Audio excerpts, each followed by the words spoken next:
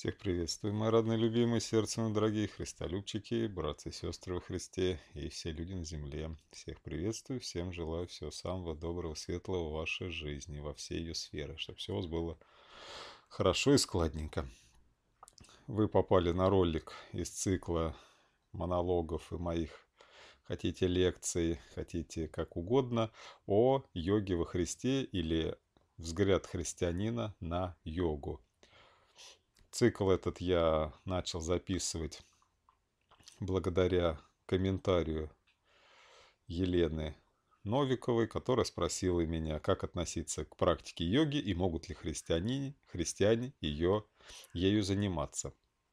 Кто попал на это видео случайно, всем рекомендую обратиться к первому видео на эту, из этого цикла. Ну а кто продолжает со мной смотреть, читать, слушать. Тех всех приветствую. И мы с вами продолжаем.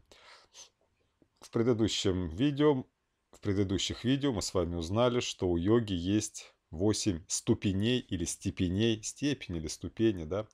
И мы с вами сейчас рассматриваем первую из них. Это яма, принцип взаимодействия с внешней средой. И в этой я вот вам подготовил такой файл, у меня есть. И в каждой ступени, степени, как хотите, мы с вами имеем что? Тоже несколько шагов. А, от, от, от, от 1 до 10. В предыдущем видео мы с вами уже рассмотрели ахимсу, то есть это не причинение зла всего живому. Я вот такую вам заготовочку сделал, мы с вами по этим ступеням будем идти, идти по ступенечкам по всему пути. Сегодняшний ролик посвящен первой ступени, степени йоги. Это яма йоги. И первому ее принципу это принцип Ахимса. Это было в прошлом ролике непричинение вреда любому живому существу на Земле. И сегодня у нас второй принцип яма йоги – это сатья. Переходим к сатье.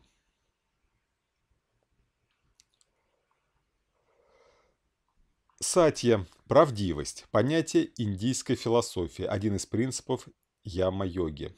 Сатья или яма или ступени яма-йоги. Яма ступени йоги, так скажем. Сатья означает внутреннюю правдивость, честность во всем, в мыслях, в словах и поступках, непременное исполнение своих обещаний и обязанностей. Ну, то есть мы видим с вами, что, во-первых, мы с вами всегда будем замечать при чтении статей с Википедии, на, на, на ее основе и построены все мои видео, что речь всегда идет, конечно же, о всеобъемлющем человеческом существе. Это его мысли, это его слова и это его дела. Йога, естественно, применима, практика йоги ко всему существу человека.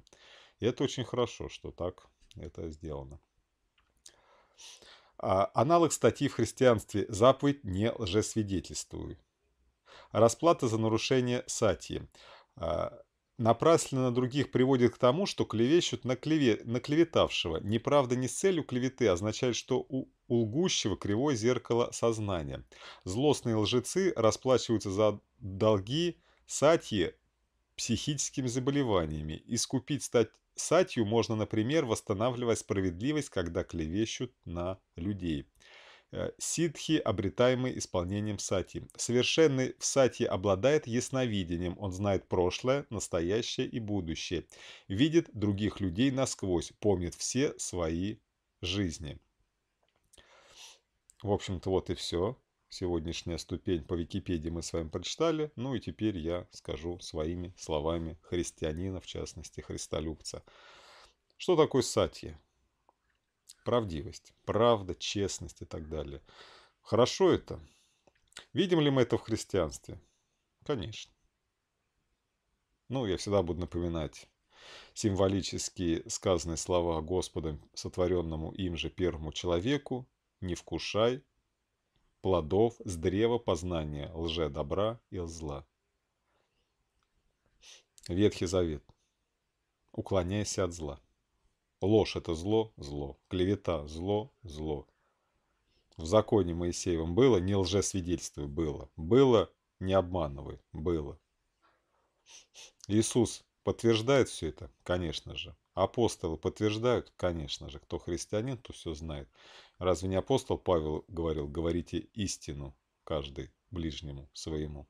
Разве Иисус не говорил, исполняешь ветхозаветные, прежде всего, заповеди, не убей, не укради, не твори зла, да, тогда восходи на совершенную степень. И как мы видим, а, в, в принципе сатье есть и этот э, путь к восхождению, да, то есть говорится о том, что высочайший э, достижением совершенства в сатье является даже именно защита и оправдание.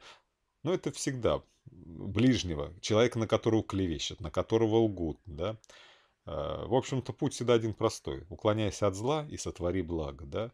Уклонение от зла – это только середина пути, начало, конец, эм, дно этого пути, это когда ты пребываешь во зле, лежишь лицом в своей блевотине, которую изрыгаешь и сам же пожираешь. Середина пути, когда ты отрекаешься от зла, и высшая степень совершенства, когда ты достигаешь чего, что ты готов уже не только э, ничего не делать, да, не, даже зла, но ты делаешь благо. Естественно, заступничество за человека ущемленного, оболганного, оклеветанного – это и есть положение души своей жизни за человека. Это и есть любовь. Отвечаю на вопрос, всегда в каждом ролике буду отвечать на вопрос Елены, поставленный мне изначально, благодаря которому я и стал записывать серию этих роликов «Йога во Христе». Нужно ли христианину? Что такое йога? Один из принципов. Первый ступени йоги под названием яма сатья говорит о том, что это праведность, правдивость, праведность, неправильное слово, правдивость, простите. Не ложь, говорение правды, не клевета, не оскорбление, не злословие. Здесь, наверное, можно все в эту сатью, в принципе, по йоге вложить, да. Но это честность, это открытость, да. Нужно ли христианину практиковать это? Еще как. Кто мои проповеди слушает давно, кто, может, впервые на ролик попал, я христианин, более того, христолюб, да. И что я всегда говорил, ссылаясь на ступени, степени, которые дал нам Иисус в заповедях так называемых, в степенях блаженства, начиналось оно все, конечно же, с покаяния. Блаженны нищие духом. Вторая ступень какая? Блаженны, кто об этом восплачет, да. Поскорбит, естественно, когда ты понял, что ты, мягко скажем, несовершенство, а на самом деле признаешь, что ты лежишь в своей же блевотине лицом вниз. Что дальше? Блаженны плачущие. Что дальше? Блаженны кроткие. Кто действительно человек примет это, смирится с этим и скажет «да». Я не такой, как Бог, но я Бог должен быть. Я Бог и Сын Всевышнего, и дочь, и, и, и дитё Всевышнего я. И что дальше? Какую ступень всегда степень, говорил Иисус? Какова эта планка? Блаженные, алчущие и жаждущие правды. Прежде всего, конечно же, человек должен стать честным с самим собой. Вот это я творю зло, а это творю добро. От зла от всего должен отречься и возжелать всего самого светлого, всего самого доброго, всего самого чистого. Тогда человеку не нужны никакие ни религии, никто. Ни учителя ему даже, представляете, не нужны, не такие, как я даже. Ну, вообще ничего не нужно. Ему нужен только Бог. Потому что Бог есть истина, а Он в каждом человеке. Он просвещает каждого человека, им же сотворенного и приведенного им в это бытие, в этот мир. Все. Тогда Иисус и сказал, кто пойдет и исполнит это желание, начнет, естественно, познавая, Бог начнет открывать истину этому человеку, и что? Он очистит свое сердце, сердце, душу, жизнь, как хотите, да? Тогда Господь сказал, блаженный, чистый сердцем, ибо они Бога узрят. Мы порой очень радуемся, когда мы видим любимую женщину, любимого мужчину, любимого ребеночка, любимого родителя. А тут самого Бога узреть, самому, саму чистоту, любовь, свет, доброту, радость, мир, кротость и смирение. Конечно же, ты будешь счастлив. Но увидеть его может только тот, кто сам таким стал. Ибо грешнику невозможно видеть Бога и не умереть.